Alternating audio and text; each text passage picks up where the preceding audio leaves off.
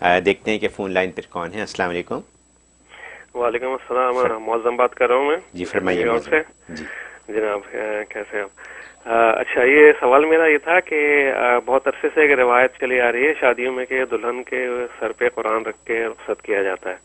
تو اس کی کیا وہ ہے؟ اور دوسرے کہ آج کل شادیوں میں نکاح کے بعد اور اس کے بیان کے بعد ایک بہت تیز وہ ڈی جے اور میوزک کا سلسلہ شروع ہو جاتا ہے تو جس میں بات چیت کرنا بھی مشکل ہو جاتا ہے لوگ عرصے بعد ملتے ہیں پرانے عزیزوں سے جہاں پہ۔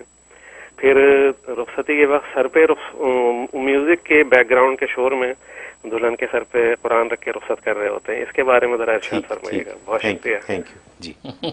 بکیا ویڈیو دیکھنے سے پہلے ویڈیو کو لائک کریں، رحم ٹی وی چینل کو سبسکرائب کریں اور بیل آئیکن پر کلک کریں۔ شکریہ۔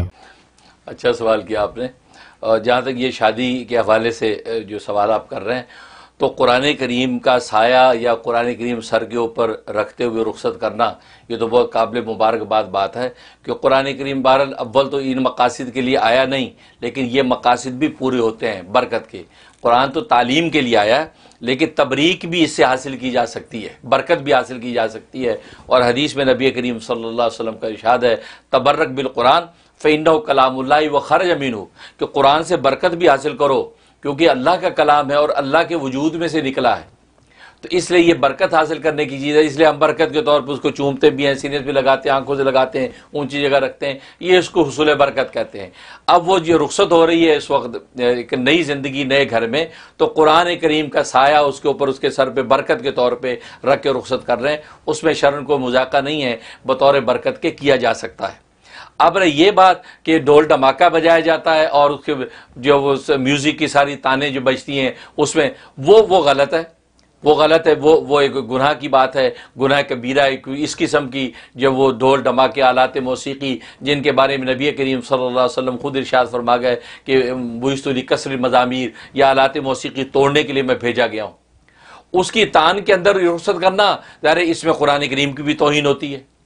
تو بہتر یہ کہ اس وقت تو خاموش رکھیں جب قرآن کو رخصت کر رہے ہیں۔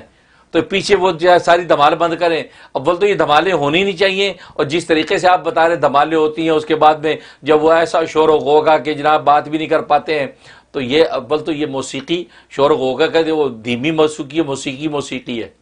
اس کے حرام ہونے میں تو شبہ ہی نہیں ہے۔ لیکن قرآن کریم کو جب آپ رخصت کر رہے ہیں، کم از کم اتنی تو حیا ہونی چاہیے۔ اس وقت یہ ساری چیزیں بند کریں تاکہ قرآن کی تو توہین نہ ہو۔ تو جو برکتیں اس عورت کو ملنی ہیں، ان برکتوں سے اس کے، اس سے آپ محروم کر رہے ہیں۔ تو بار یہ کہ جو چیز، گناہ ہے وہ گناہ ہے اور جس کی برکت حاصل کی جا سکتی ہے، اس میں کوئی مذاکرہ نہیں ہے۔ بہت شکریہ۔